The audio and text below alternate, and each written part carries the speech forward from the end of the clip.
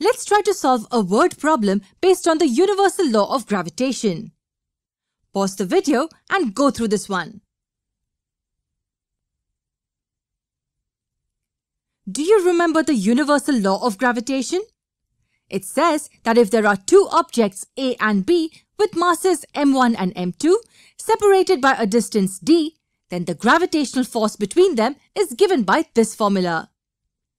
And uppercase g here is called the universal gravitational constant and its value is given to us as 6.7 times 10 raised to negative 11. Newton meter squared per kilogram squared.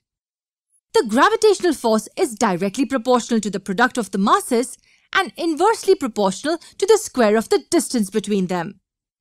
This is the universal law of gravitation. So let m1 be Zen's mass, which is 70 kilograms, and let m2 be Zara's mass, which is 50 kilograms. And the distance d between them is 1 kilometer. Next, we check if all the units are standard. Are they?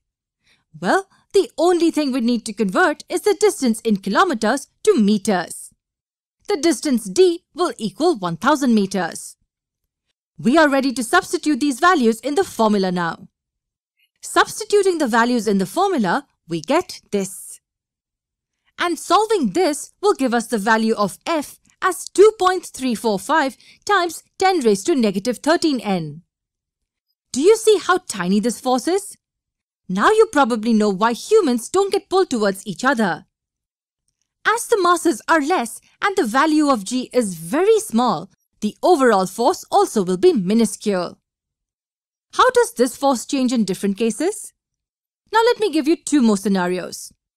First, the two objects are the Earth and a human being. Second, the two objects are the Earth and the Moon. Find the force exerted in each of the cases and tell us your answers in the comments section below.